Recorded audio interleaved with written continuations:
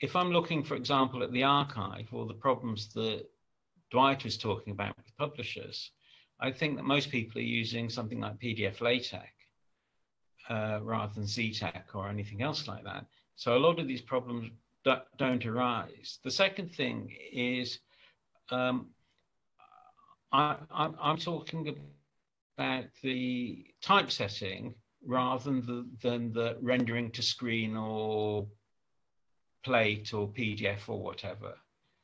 And Don Knuth's TeX, the typesetting depends only on the TeX font metric. So one of the things I'm doing in my mind to keep everything small is to stick to Don Knuth's TeX of 1982 and get things working there properly and then move on to catch up on the subsequent developments. I think that provides an easier route and I think it brings benefits fairly early on. And one of the biggest benefits is you can see everything working. And so you can see the relationship between the parts. And I think having multiple components working together is a great situation in terms of people developing each component individually in the context of the whole. So, whilst these are important problems, um, and they're something we have to be aware of and are grateful to be reminded of them, I don't see them as being fatal to the project. I see making thing, making the archive work better, for example, or making publishing work better in core STEM 6 is already sufficient reason to deal with this. And as evidence for that, I go back to Overleaf. Overleaf doesn't solve all these problems, but it solves them well enough to be a very useful tool. And I'm hoping to get the same benefits, but outside the warm embrace of Overleaf. Can I move on? Which is uh, download and upload. So instead of downloading a TeX Live distribution and installing it, you download, for example, all, all the styles you need and all the TFM files you need and all the uh, post type one and other PostScript fonts that you need and store them at some place in your machine and they become, so to speak, your backing store. So you are going to assume that the other person whom you're collaborating with has got the same access to obtain those resources from a shared download place, which would be somewhere like CTAN or TeX Live. And this is more or less what TinyTeX does based upon TeX Live for the R Markdown and typesetting R Markdown documents. So the basic idea of the download is that for any particular resource that appears in any particular TeX distribution that's when I say resource, I'm particularly thinking of style file. Any style file that's appeared in a TeX distribution, you'll be able to say, here's the secure hash of it. Now give me a copy. You want the universe world to have that capability of supplying Every, so to speak, LaTeX style file that ever exists. When I say LaTeX, I mean released on CTAN. And that shouldn't be a big deal because I think that all the style files that have appeared in TeX Live will occupy about six gigabytes or something when stored in a Git repository. They're not that big because there's a tremendous amount of duplication. It's just that when you try to expand it to give every single version of every single file, it becomes absolutely enormous. There's something called a Git bomb, which is a very interesting concept. It's a Git repository that occupies perhaps 200K, less than a byte. But when you unpack it, it occupies because it has multiple copies of exactly the same file. So you have hello, hello, hello, that's the file. And you have folder that has got 100 files, all of which have got the same value.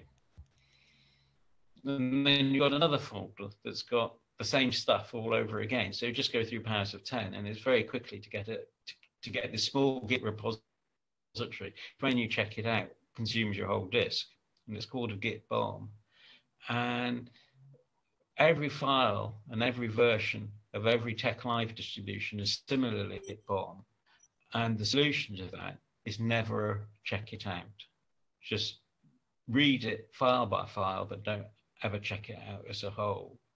Um, once you understand that, you re realize that you don't need gigabytes of storage because you ha don't have gigabytes of data. The amount of data you've got is considerably less than gigabytes, and you can think of Git as being an extremely efficient and effective compression algorithm that not only compresses very well, but unpacks, but gives you very quick access to resources. The problem with most compression systems is that um, getting a bit of data in the middle is expensive. The same goes for encryption. Getting a bit of data in the middle is expensive. So the idea of the download is that you download all the stuff for TeX Live 2021. And then in 2022, you download the increment that you need. And for 2023, download the increment you need. And at some point, you'll throw away stuff in the earlier years if you need to but you, you, you're presuming that these things will be available forever. For some reason or another, they will be available effectively forever. So that's, that's the download side of it. And I've started doing experiments on that, and they seem to be quite successful, certainly enough to make me encouraged about all of this. I'll stop so that I can take a breather and so that people can ask questions or make comments. Yeah. There's just one quick thing is do you expect the internet to be there when you're typesetting or not? I do not expect the internet to be there when I'm typesetting, but I do expect the internet to be there perhaps via a sneakernet when I'm installing software.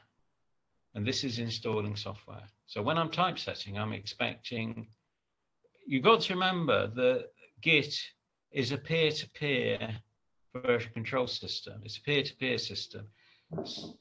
So once I've cloned a Git repository, I've as good as got my own copy of it. There's nothing special about my clone that gives it allegiance to the master. So I don't need the internet to be there. And if I'm a, in a high security environment, I, I ask for permission to install um, the following Git files, and that's all I need. All I need is to have certain Git, Git pack files installed, and everything will work. Just as uh, all I need to typeset is to connect to the internet, do the installation, do the downloads, and then disconnect to the internet and throw away the network card, and I can typeset.